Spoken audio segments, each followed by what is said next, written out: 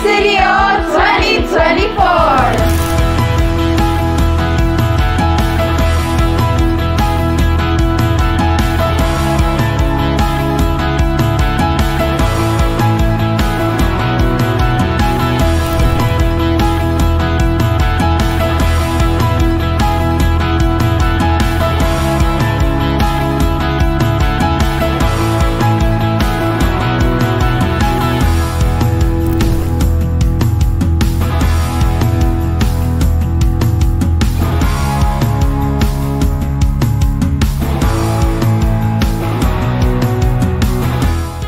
The session motivated me to refine my content strategy, making sure that it reflects who I am and what I stand for. I now feel more confident in leveraging my social media towards my visibility and my influence, not just in my pageantry, but in all areas of my life.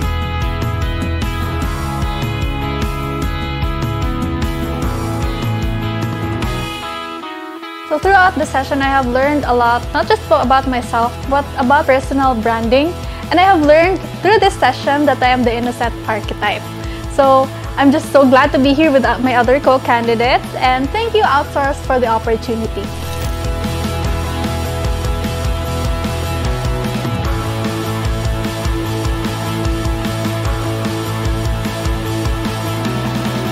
I was like, ah, this is all about social media. This is um, about improving myself in communication skills, uh, especially in the virtual world. There's one thing I learned and realized that this opportunity is actually about personal growth. I, I got to know myself better. I got to reflect on myself, and there's a part of me that I just discovered. So it is something that I really am thankful about.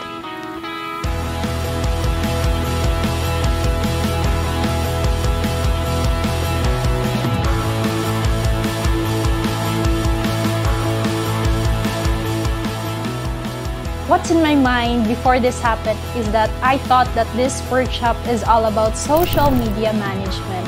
But thank you so much, Outsource Access, for this opportunity that I had the chance to know more myself because that's the most important key for us to get that crown.